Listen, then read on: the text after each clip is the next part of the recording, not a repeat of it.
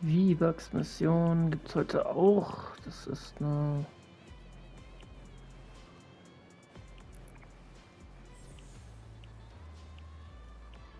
Das